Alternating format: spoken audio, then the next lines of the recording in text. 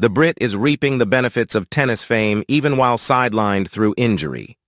Emma Raducanu has seemingly been gifted a brand new car following reports that her beloved Porsche was taken away by the German manufacturer.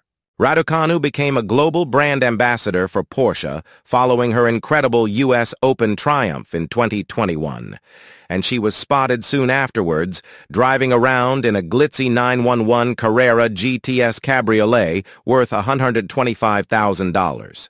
Three years on, and having slipped down the world rankings, the Daily Mail claimed that Raducanu is no longer in possession of her prized set of wheels, and she was recently seen bombing about in her second-hand Dacia Sandero, which she bought for just $5,000 shortly after passing her test. Romanian carmakers Dacia have since offered Raducanu a brand new model, posting a picture of a gift-wrapped 24-plate Sandero sat outside the grounds of Wimbledon on their official X account.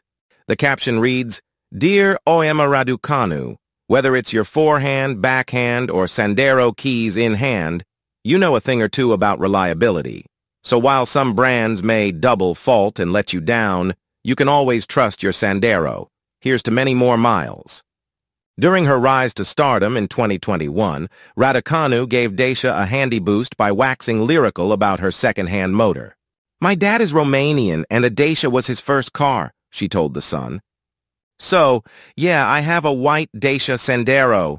It was funny, I passed my test three days before the first lockdown, and we sort of knew it was going into lockdown, so we needed to buy a car ASAP. I bought it second-hand for $5,000. I take care of her. I'm never going to get rid of it. Porsche reportedly loaned Raducanu cars on an ad hoc basis, and she suggested she was back behind the wheel of another expensive machine this week, posting a picture of herself to Instagram with GTS visible on the headrests behind her.